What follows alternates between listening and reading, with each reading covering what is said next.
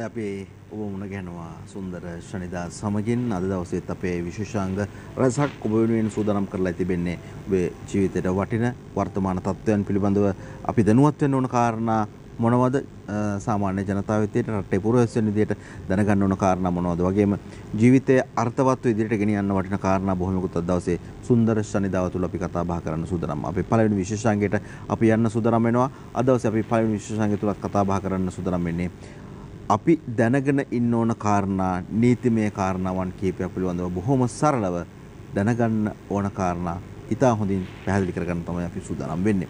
ඒ සඳහා අපි තමත් ගෞරවනීය අපේ මෙදිට දවසෙත් ආරාධනා කළා ජනාධිපති නීතිඥ යුවද සිල්වා මැතිතුමන්ට ඉතමත් ගෞරවයෙන් ඔබතුමා පිළිගන්නවා අයිබෝන්. අයිබෝන්.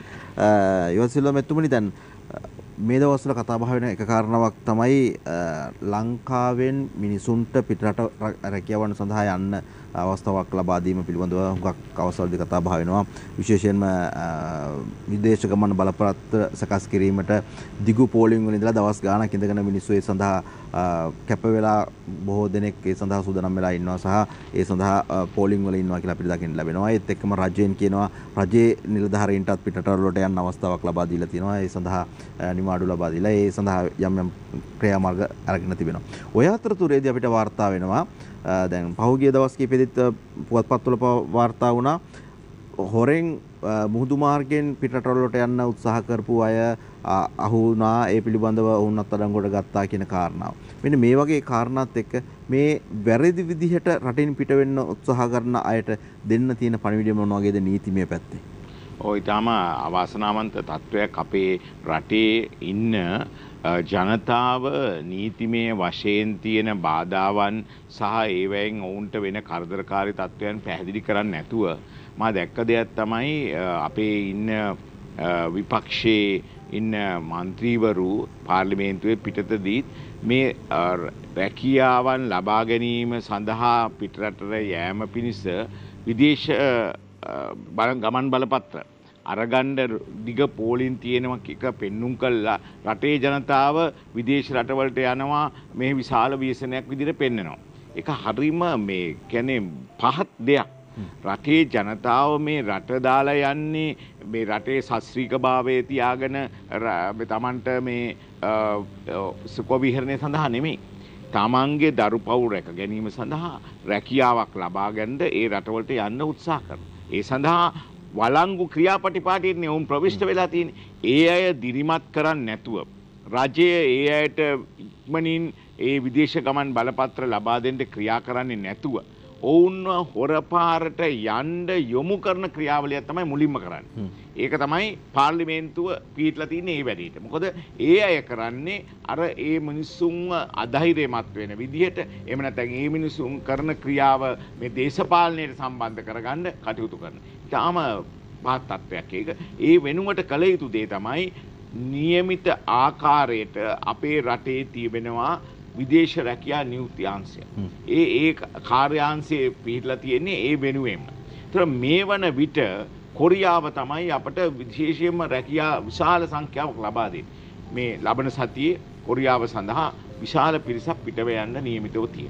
එතකොට අප කර යුතු වන්නේ ඒ රටවල් සමඟ සම්බන්ධීකරණය කරලා නීතියානුකූලව ඒ අයව එවන්නේ කොහොමද කෙනෙක් ක්‍රියාපටිපාටියට ප්‍රවිෂ්ට වෙන්නේ.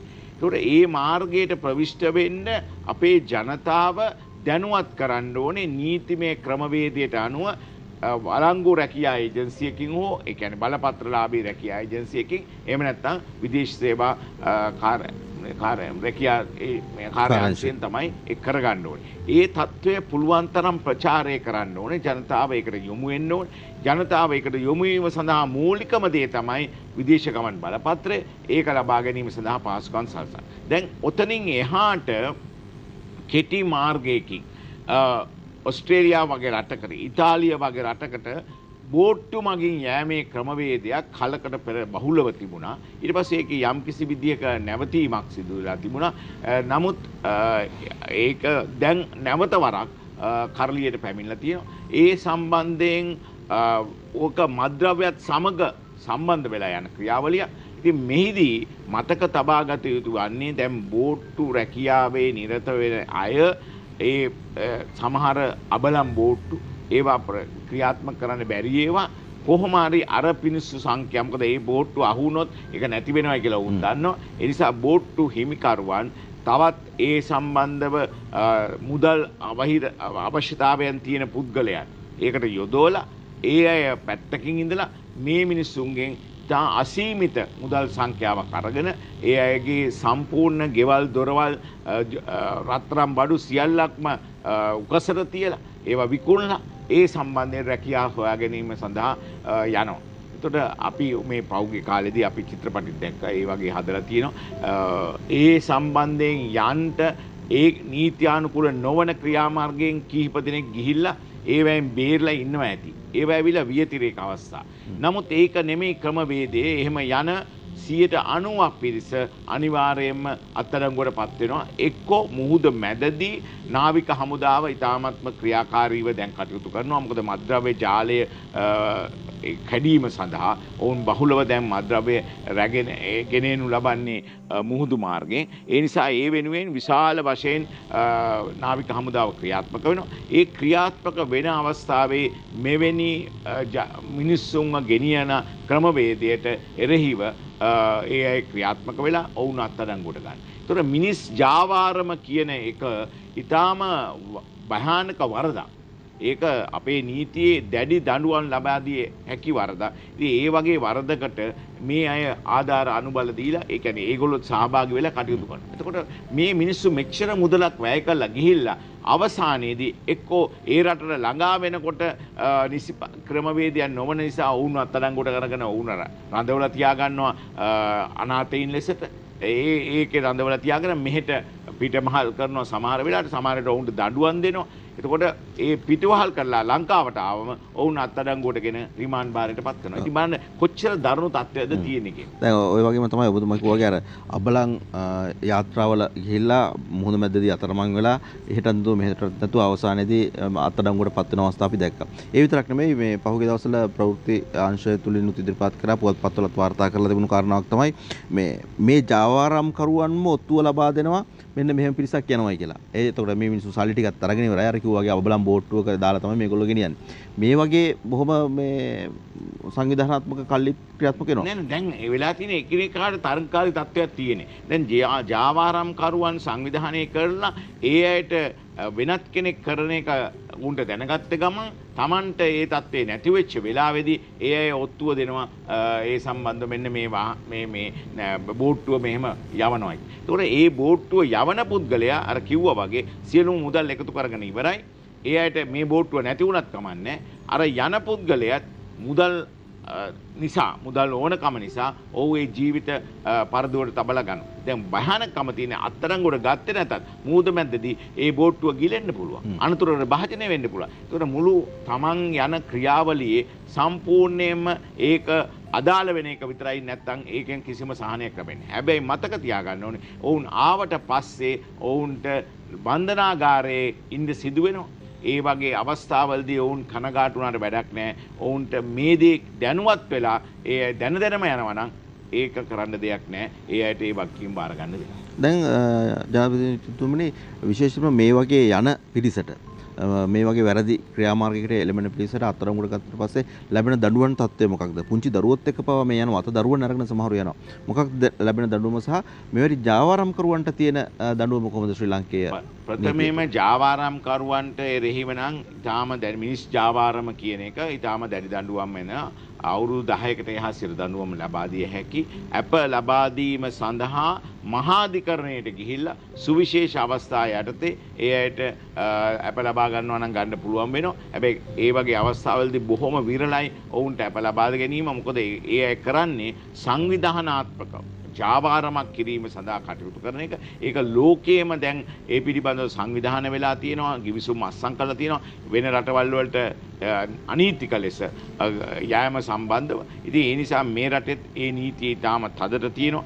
ආගමන හා විගමන පනත සහ දණ්ඩ නීති සංග්‍රහයට අදාළව ඒ දේවල් සම්බන්ධව දැඩි දඬුවම් පමනවන්න කටයුතු කරනවා. මේ අර මුදල් ගෙවලා යන අය ඒ අයටත් ඒකෙන් සම්පූර්ණයෙන් බේරෙන්න බෑ ඔවුන් ඒ මුදල් ටික නැති වෙනවා පමණක් නෙමෙයි ඔවුනට ඒ වෙනුවෙන් අර අයට සමග කටයුතු කිරීම ගැන අනීතික ලෙස ඒ කියන්නේ නීත්‍යානුකූල බලපත්‍රයක් නොමැතිව මේ වරායෙන් වෙනත් වරායක් සඳහා යෑම පියවර ගැනීම නිසා ඔවුනට දඩුවන් දීමට සිදු වෙනවා ඒ නීතියට අනුව. ඉතින් මේ තත්ත්වල් අපි වටහා ගන්න නැතුව හුදෙක් මුදලට ඇබ්බැහි වෙලා එම නැත මුදල් මේ කැර පහසුවෙන් යන්න පුළුවන් හින්දා තමන්ගේ තියෙන සියලුම සේසත නැති කරගෙන කටයුතු කරන්න එපා කියන පණිවිඩය මා හිතන්නේ මාධ්‍යයෙන් ලබා දිය යුතුයි මාධ්‍ය පුළුල් ලෙස ඒ ප්‍රචාරය කළා ජනතාවට ඒ පණිවිඩය දෙන්න ඕනේ මේ ජාවාරම් කරවන්ට අහු වෙන්න එපා කියන. මේ ජාවාරම් කරන සමහර වෙලාවට මේ මිනිස්සුත් හරහා මද්ද්‍රව්‍යත් ඒ හරහා ප්‍රමාණය කරනවා. ඒකට මෙතනදි වෙන්නේ මේ මද්ද්‍රව්‍යත් රැගෙන යන බෝට්ටුවක අහුනොත් එහෙම ඒ සියලු දෙනාම ආධාර සහ අනුබල චෝදනාව යටතේ වෙනත් විෂපරක අභිං හා අන්ත්‍රාදායක පනත යටතේ නැවත වරක් ඔවුන්ට දඩුවම් විඳින්න සිදු වෙනවා. ඉතින් මේක ඇවිල්ලා සංකීර්ණ ක්‍රියාවලියක්. මේ ගැන අවධානය කරන්නේ නැතුව අපි කටයුතු කරන්න යනවා නම් යන්නම් වාරේ ගියොත් ඒකෙන් කවදාවත් අපේ රටට මේ සහනයක් ලැබෙන තත්ත්වයක් ඇති වෙන්නේ අපේ රටත් අපගීතයට පත් වෙනවා. විශාල වශයෙන් එහෙම යන්න ගත්තාම ඒ වගේම ජනතාවටත් විශාල දුක් කටළු වලට කම්කටොළු වලට මුහුණ දෙන්න සිද්ධ වෙනවා. ඉතින් අපි ඒ පිළිබඳව දැනුවත් කරනවා මෙවැනි නීතිය පිළිබඳව ප්‍රාමාණික දැවන්ත දැනුමක් තිබෙන දේශිච්ච මහත්මයෙක් සමගින් අද දවසේ කතා කරන්නේ යුවද සිල්ව මැතිතුමා ජනාධිපති නීතිඥවරයෙක් ජ්‍යෙෂ්ඨ නීතිඥවරයෙක්. දැන් අපි මේ කාරණාවෙන් පස්සේ තවත් පැත්තකට આવත් හොඳයි කියලා හිතනවා මේ දවස්වල මේ මිනිස්සුන්ට තියෙන පීඩාවත් එක්ක පීඩනයත් එක්ක ඔවුන් මේ පීඩනය පිටකර හරින්නට එහෙම නැත්නම් Tamanගේ මේ අවශ්‍යතාවය බලධාරීන්ට දැනුවත් කරන්න කියන කාරණාවත් එක්කම පාරට බහින අවස්ථා අපි දකිනවා. උද්ඝෝෂණයන් සිදු කරන අවස්ථා දකිනවා. උද්ඝෝෂණය කරන්න ලංකාවේ නීතිය තුල තහනමක් නැති වුණත් තවත් කෙනෙකුට පීඩාවක් වෙන විදිහට හැසිරීම දඩුවම් ලැබිය හැකි වරදක්. මේ තත්ත්වය පිළිබඳව තවමත් හරි අවබෝධයක් නැහැ කියලා අපිට පේනවා. මොකද ඊයේ දවසේදීත් අපි දැක්කා පාරවල් වහගෙන ගෑස් ටැංකි පාරේ තියාගෙන ත්‍රිවිල් එක පාරට දාගෙන පාර වහගෙන කටයුතු කරන අවස්ථා සහ විශේෂයෙන්ම කාන්තාවන් එහෙම ඊටමත් නරක වැරදි ආකාරයට හැසිරෙනවා අපි දැක්ක පහුගිය දවස් කිහිපය තුළම. මොකක්ද මෙහි තියෙන නීතිමය පසුබිම? ඒ ඒ తත්වය ගැනත් විශේෂයෙන්ම දැනුවත් කිරීම ඉතා වැදගත් වෙනවා. මේ දැන් මේක පුරුද්දකට ගිහිල්ලා උද්ඝෝෂණ කරනවා කියන එක මම හිතනවා කනගාටුවෙන් ප්‍රකාශ කරන්න ඕනේ මේ ගුරුවරු වෙනුවෙන් අර සමහර වෘත්තීය සමිති නායකයෝ ගුරුවරු හැටියට ඉන්න මේ ඒ අය පහුගිය කාලෙදි කරපු ඒ ගුරු උද්ඝෝෂණය කොරෝන කාලෙදී කිසිම වගක් විභාගයක් නැතුව කරපු ඒ ක්‍රියාවලියට බලධාරීන් නිසි ආකාරයට ක්‍රියාත්මක නොකිරීම හේතු කොටගෙන මේක පුරුද්දකට ගියා. මෙන්න මේක තමයි භයානක තත්ත්වය. ඊට පස්සේ පෞගේ කාල පරිච්ඡේදය තුළ අපි දැක්කා වරින් වර අරගල ක්‍රියාත්මක වෙනවා. අරගලය කියන එක අපි දැනුවත් වෙන්න ඕනේ අපේ මූලික අයිතිවාසිකම් වල අපේ අදහස් ප්‍රකාශ කිරීම අපේ හැත්තාට ව්‍යස්ථාවේ පැහැදිලිව සඳහන් කරලා තියෙනවා. ඒක ගැන කිසිදු තර්කයක් නැහැ. හැබැයි ඒ වගේම ඒ ව්‍යස්ථාවේම ඊට පසු ඡේදය ඊට පසු ව්‍යස්ථාව ගැන කතා කරන්නේ නෑ ඔය මිනිස්සුන්ව පොළඹවන කට්ටිය. ඒ අය ඔබතුමා කිව්වා වගේ ඒ අරගල වෙනුවෙන් උද්ඝෝෂණ කළ යුතු වන්නේ තනිකාට කරදරයක් අනිකාගේ මානව හිමිකම් මූලික අයිතිවාසිකම් කඩවීමකින් තොරවයි. අන්න ඒ දේ බලපව හොඳින් වටහා ගන්න ඕන. එතකොට අපි දකින දෙයක් තමයි ඒ අයව පොළඹවන්න ඒ ක්‍රියාවලියට පොළඹවන්න කිසිම සීමා මායිමක් කියලා දෙන්නේ නැතුව ඒ අය පොළඹවන්නට ඔය නායකයෝ කියන වෘත්තීය සමිතිවල නැත්නම් ශිෂ්‍ය අරගලවල ඉන්න නායකයෝයි කියන එළියට පැමිණලා කෑ ගහන අය කරනවා. අවසානයේ මොකක්ද දන්නවද වෙන්නේ? ඒක අය එතනින් මිදිලා යනවා ඒ වෙනුවෙන් ඊටත් එහා ගිහිල්ලා ක්‍රියාත්මක වෙන්න යන දරුවෝ ඊළඟට සාමාන්‍ය ජනතාව කාන්තාවෝ මේවා ඕන්ට වැඩියෙන් කරන්න ගිහිල්ලා ඒ අය අවසානයේදී බන්ධනාගාරගත වෙන තත්ත්වයකට එනවා. අන්න මේ දේය මීට ප්‍රථමයෙන්ුත් අපි පැහැදිලි කර දුන්නා උද්ඝෝෂණ කරන එක කිසි ප්‍රශ්නයක් නෑ ඒක විය යුතුයි ඒක සමාජයේ Tamanට තියෙන වගකීම හැබැයි ඒකන් හරියට ක්‍රියාත්මක දෙයක් නැත්නම් ඒ උද්ඝෝෂණයේ ප්‍රතිඵලයක් නැහැයි කියලා නීතිය අතට ගන්න බෑ අන්න ඒක තේරුම් ගත්තේ නැත්නම් විශාල අගතිගාලි තත්ත්වයට පත් වෙනවා. මේකට හොඳම උදාහරණය අපි දැක්කා මෑතකදී සිදුවෙච්ච මාතර සිදුවෙච්ච සිදුවීම. හරිම කනගාටුදායක තත්ත්වයක්. මේකෙදී තමයි මේ අරගල නායකෝ කියන ගන්නා වූ පිරිස සහ සමහර නීතිඥ මහත්වරු මේවා ගැන අවධියෙන් කටයුතු කරන්න. මොකද ඒකෙදී පොලිසිය ඊටාම පහසුවෙන් ඒ ප්‍රදේශයේ ඒ වෙලාවේ උද්ඝෝෂණයට සම්බන්ධ වෙලා යම්කිසි රජයේ දේපලට හානි කරයි කියන පදනම මත පොලිසියේ ක්‍රියා අයට රාජකාරි ක්‍රියා කරන්න දුන්නේ නැහැ කියන ක්‍රියාවලිය මත එක තරුණේ පමණක් අත්අඩංගුවට ගත්තා. ඊටාම කෙනෙක් ඒක කනගාටුදායක දෙයක්. මොකද ඒ තරුණයා අපි කියනවා අපේ නීතියේ තියෙනවා මේ නීති විදෝධී රැස්වීම කිය. ඒකට සහභාගි වෙලා ඉන්නවනම් ඔහු ක්‍රියාකාරීව එතන කටයුතු කරනවා නම් ඒ ක්‍රියාකාරී පුද්ගලයා ගැහුවත් නැතත් ඔහු ඒකට වග කිය යුතුයි. ඒක එක අපේ නීතිය හැටි. එහෙම නැත්තම් එතනින් ඉවත් වෙලා යන්න ඕනේ. නමුත් බලාගෙන හිටිය පමණින් ඔහු වර්ධකරුවෙක් වෙන්නේ නැහැ. සමහර නිසු අර බූරුව ගැහුවත් එකයි බලන තැන බලන් හිටියත් එකයි වගේ කතාවක් තියෙන්නේ. ඒ වගේ එකක්ද මේකත්? මෙතන මෙතන අපි වටහා ගත යුතු දෙයක් තියෙනවා. නීති විරෝධී රැස්වීමක් බව දැන දැනම ඒක තුළ ක්‍රියාකාරීව අපි යමක් කරමින් සිටින්න ඕනේ. ඒ කියන්නේ ගහන එක නෙමෙයි. එක්කෝ ඒ අයව පොළඹවන්න ඕනේ. කෑ ගහලා ඒ தත්වෙට නැවත වරක් පත් කරන්න ඒක තවදුරටත් වැඩි දියුණු කරන්න ක්‍රියා කරන්න ඕනේ. ඒ පහර දෙන අයවට මේ ආධාර අනුබල දෙන්න ඕනේ. අන්න ඒ වගේ දෙයක් කරනවා නම් ඒ අය නීති විරෝධී රැස්වීමේ අර ප්‍රධාන කොටසට කලේ නැතත් ඔවුන් වැරදිකරුවෙක්.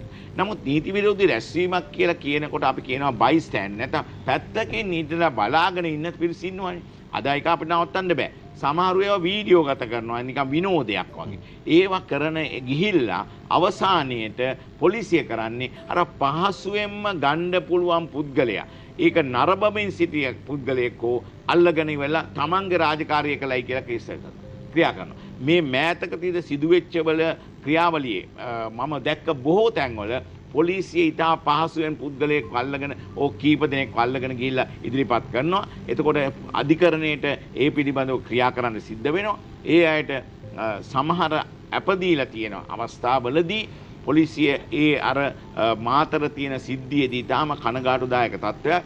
ඒ මනුස් ඒ පුද්ගලයාට දැනුම් දීලා තියෙනවා ගෙදර පවුලේ කට්ටියටයි. මේක සුළු වැඩක්. මේක එච්චර ප්‍රශ්නයක් වෙන්නේ මේකට පොඩි වන්දියක් ගෙවලා ඉවර කරගන්න පුළුවන්. මේවා විශ්වාස කරන්න එපා.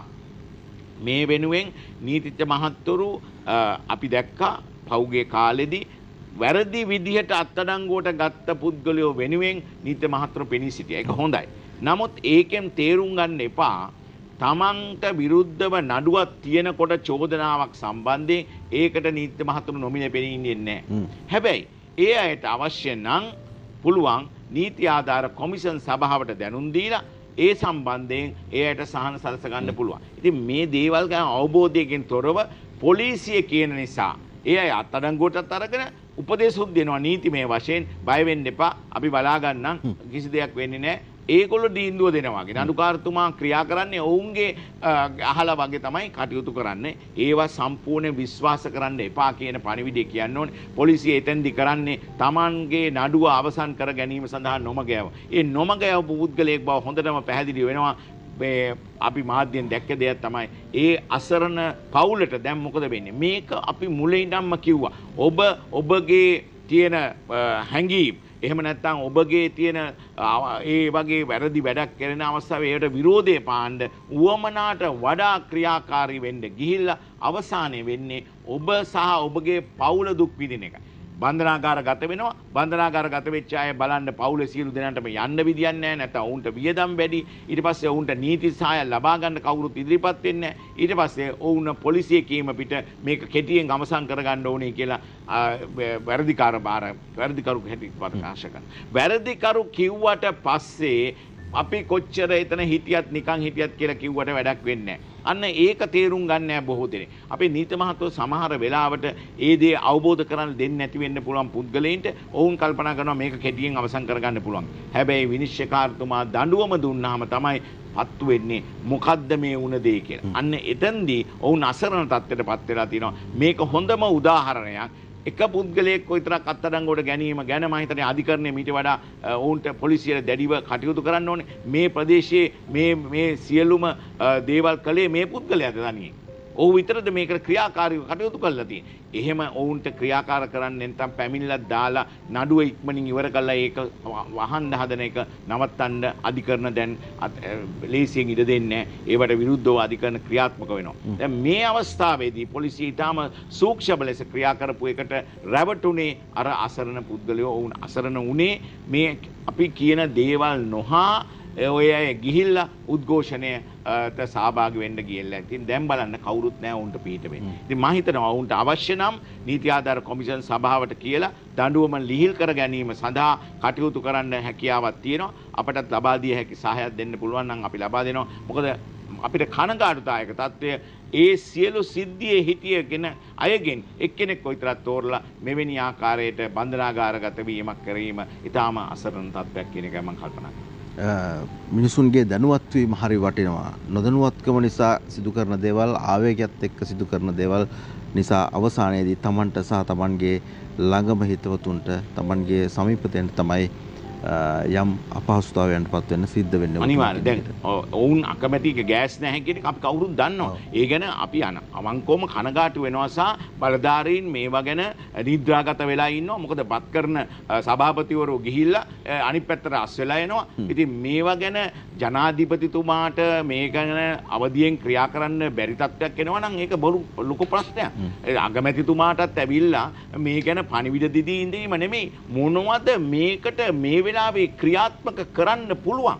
ඒ දෙයට අනුව කටයුතු කරන්න පුළුවන් කෙනෙකුට ඒක බාර දෙන්න ඕනේ. ඉතින් එහෙම නැතුව නිකන් තමන්ගේ දන්න කෙනෙකුට ඒ தත්ත්වය බාර දීලා ඌ ටික දවසක් ගිහිල්ලා මේ වැඩේ සම්පූර්ණයෙන්ම භයානක තත්ත්වයට පත් කරලා එනවා. එතකොට ජනතාව කුපිත වෙනවා. මම ඊටාම සතුටු වෙනවා. අපේ ජනතාව තෙල් පෝලිං වල, ගෑස් පෝලිං වල සහ භූමි තෙල් ඔවුන් ඉතාම වස්සේ තෙමි තෙමි ඉන්න මේ සංගමය සංයමය ගැන අපි ඉතාමත්ම ඔවුන්ට ප්‍රශංසාව කරන්න ඕනේ ඔතනින් එහාට ඉවසගෙන ඉන්න මොනවක් කරන්නද කියන ප්‍රශ්නය මතුවෙනවා. හැබැයි ඔබ ගිහිල්ලා ඒකට විරෝධය ප්‍රකාශ කරන්න කියලා පාරහරා ගෑස් තැන්කි ටික තියෙනවනම් වාහන ටික පාරහරා ගාලා තවත් කට්ටියකට යන්න නවත්තනවන ඒක සම්පූර්ණයෙන් නීතියට පටහැනි ඔබ කරන්න එපා ඒ දේ.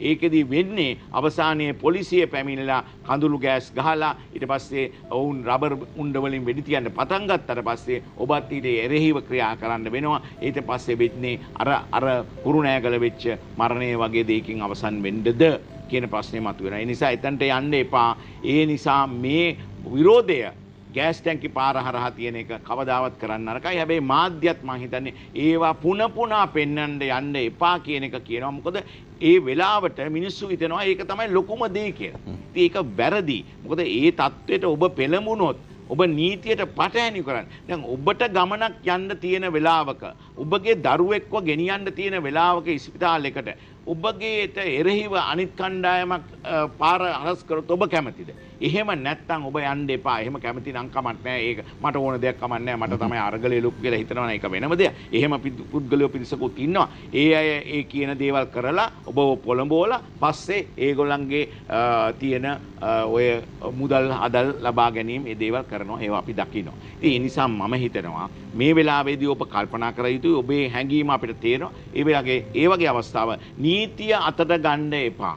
නීතියෙන් පිටුපාල යන්න එපා. එතකොට නීතිමය රාමුව තුල කරන දෙයක් කරන්න හැබැයි බලධාරීන් මීට වඩා ක්‍රියාකාරීව කළේ කටයුතු කළේ නැත්නම් ඔබටත් පාලනය කළ නොහැකි තත්ත්වයක් අන ඉදිරියේදී වෙන්න පුළුවන්. අපි කොච්චර කිව්වත් මනුෂ්‍ය හැඟීම ඇති වෙච්ච වෙලාවට ඒක පාලනය කරගන්න බැරි වෙලා ඔවුන් කටයුතු කරොත් එහෙම අසරණ වෙන්නේ ඒ ජනතාවයි.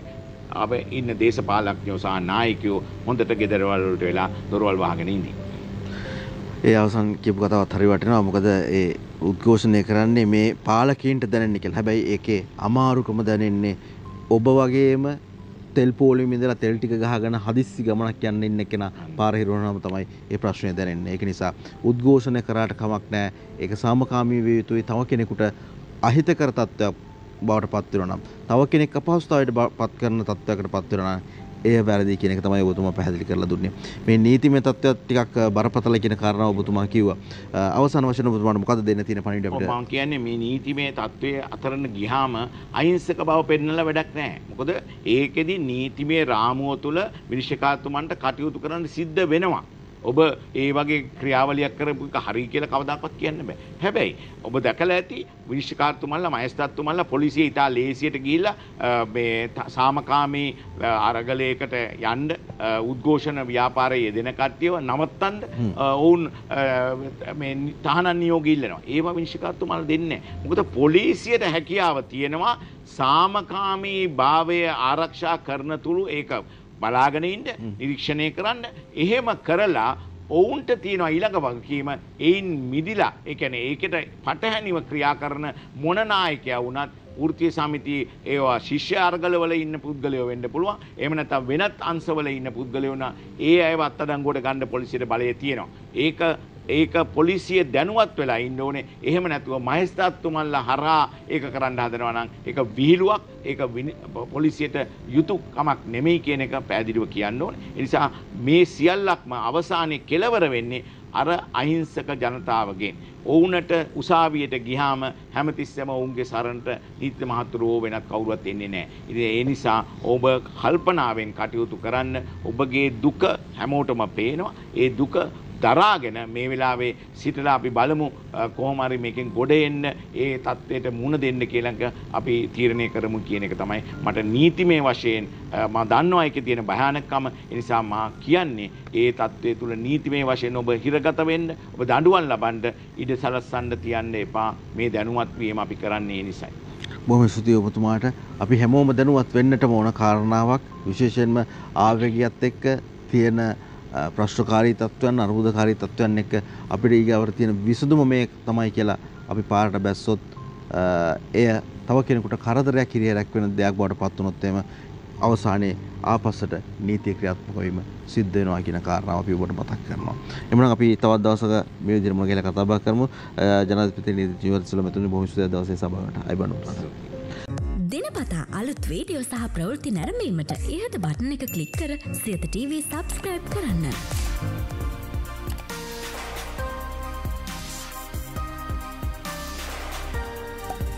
අලුත් වීඩියෝ ගැන මුලින්ම දැනගන්න මෙම සීනුව කලික් කරන්න.